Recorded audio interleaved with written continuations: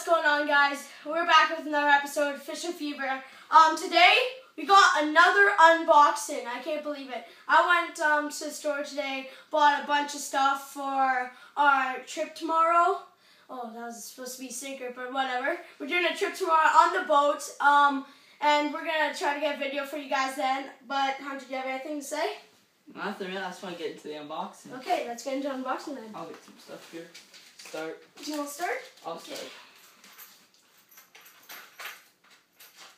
First, we got two new packs of Twister Tails. A green and yellow and Yeah. a light green color. And we got another spinner bait. Carson, show some stuff now.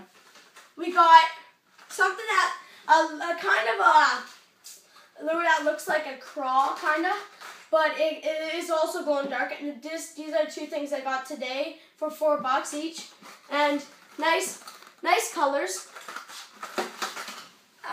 Also, I got my friend gave me mi- mini red devil, and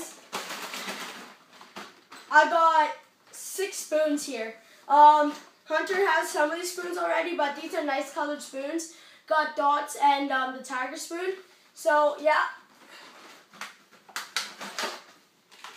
And we also have something like sangles, like worm baits here, um, worm hooks.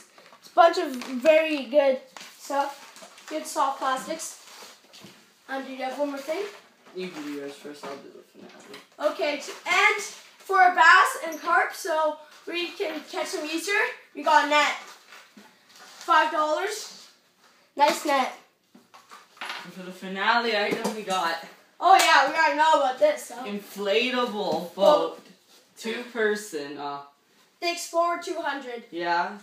It's gonna be a pretty tight squeeze, I think, but I think it's gonna work just fine. Um, as long as you don't get hooks in it, you're probably tomorrow we're going out in this. You're probably gonna see a video in it, and hopefully we'll catch some nice bass in this thing. Uh, so remember to leave a like and subscribe, and don't forget to enter our giveaway We're doing it in four days, guys, and July um, 9th, because we're picking the winner. yeah, and so guys, if you comment, win, you'll get all, we'll get the stuff we shown in our video. So, peace.